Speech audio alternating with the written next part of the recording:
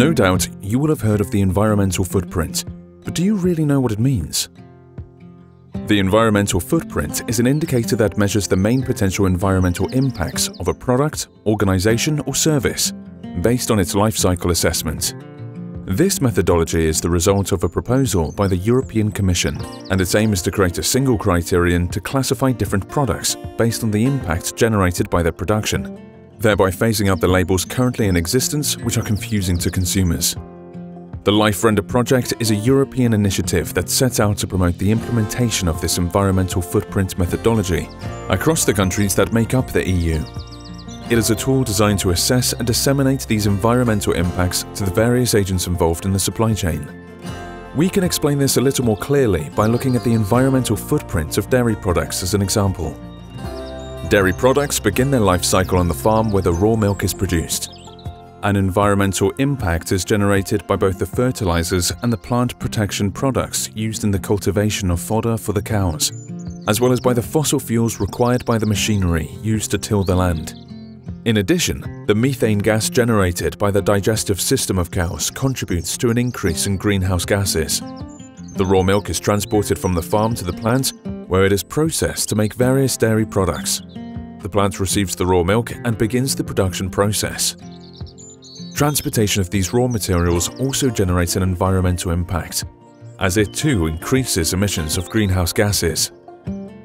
The manufacture of the different dairy products involves several processes that use considerable quantities of water and energy, especially the processes required to maintain hygienic and healthy conditions. This stage also produces significant amounts of wastewater, which is extremely polluting due to its high concentration of fats and organic particles.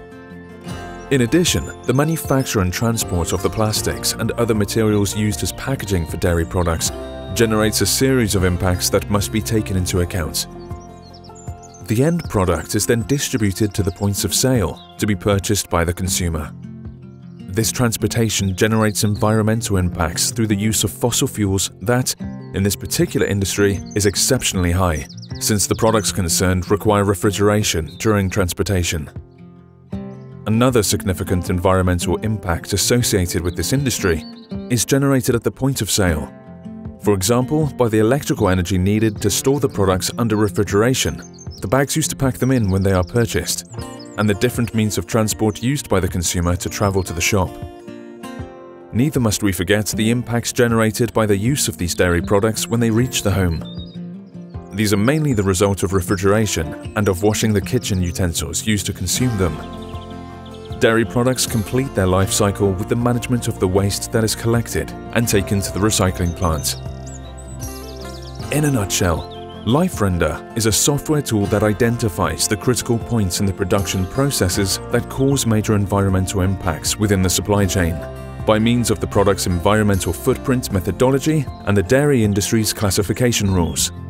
In addition, it suggests the implementation of the best techniques available in order to enable minimization of energy and water consumption, reduction of solid waste and wastewater, optimization of raw materials.